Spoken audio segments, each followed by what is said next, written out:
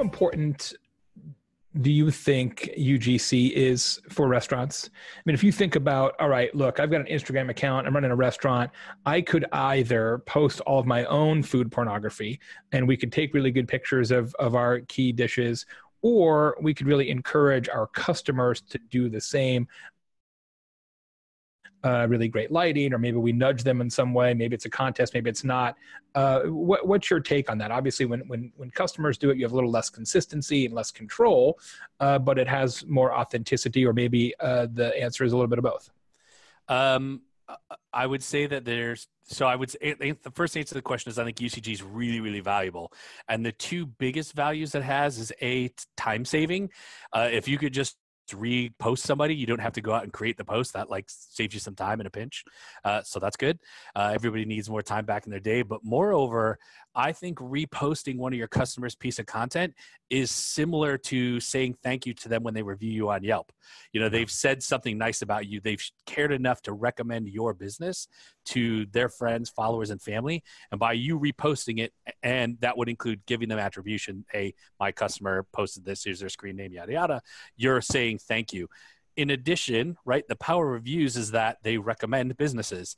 So if I see a restaurant has lots of customers that because they're sharing their content, recommending them, that gives a stronger signal to me that I might want to go try it. You're out there all the time in the burger, steak, pizza, French fry ecosystem, especially in the New York area. That sounds like a uni- ecosystem to be a part of. That sounds like a universe that Rick and Morty travel to. It does. I would, I would, I would love that. Um, what's what's what's next? Uh, what what's on the horizon? Is there uh, some sort of a pizza trend, a burger trend uh, that that you're like, hey, kids, in the next year, watch for this? You know, if I could predict food trends, I'd probably have a lot more money in the bank than I do. uh, and if I could also predict social media trends, I'd probably have even more money in the bank. Good point. Good point.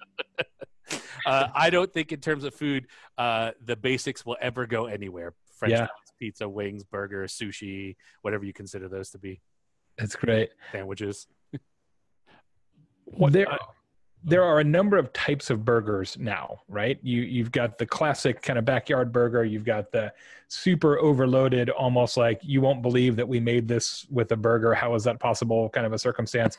Um, like you know, like especially on Instagram. Like I follow your account, which kind of got me into the whole burger rabbit hole.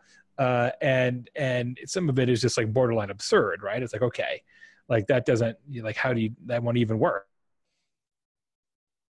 as a consumer? Like, are you looking for the roller coaster of uh, of beef, uh, or or something that's a little bit more uh, approachable and uh, and viable? Um, I want to start by saying thank you for not just saying, "Hey Rev, what's your favorite burger?" Because that is another version of this question that I guess all asked all the time. That's impossible to answer. Um, if I'm going to choose, like, what's my favorite style of burger? Man, uh, two to three ounces of fresh ground beef smashed on a flat top grill that's been well seasoned with griddled onions, American cheese, and a squishy bun, and that's it. Um, if I happen to go to a restaurant where they are producing the roller coaster of beef and all that crazy stuff, I'm for sure going to try it, and I'm for sure interested. But I will always go back to like that classic, really simple American roadside burger. We'll have to ask you this again, Rev, uh, before we get to the last two questions, because I know our audience always wants to know, like, how did this happen? like, I mean, I feel like a lot of people would want to be a foremost Instagram hamburger expert or a pizza influencer. Um, like, that seems rad. Uh, tell me a little bit about that career path. Um, so God, I used to be in the music business many, many, many, many lifetimes ago. And prior to being in the music business, I wrote about music because I have always fancied myself a writer. And so when I got in the music business, I didn't want to write about the music business. I just wanted to write about something else because I still wanted to write. So I started reviewing hamburgers just because I wanted that creative outlet. And one day I decided the music business was silly and nobody could make money anymore. And I want to be in the food business because you can't download a hamburger. Um, or a pizza. And I just kept doing it and I kept writing and I kept iterating and I kept thinking about it. And I realized it was a channel that could help me achieve other goals. And, you know, if you go read two out of five things I put on Instagram, the photo is for sure uh, pizza porn, you know, steak porn, you know, gratuitous French fries.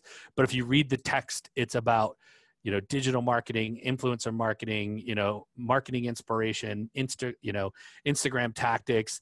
Um, the food is just my headline. And you know how did it get started? Like i realized that i could provide greater value and that these were great channels and great methods by which i could provide greater value to people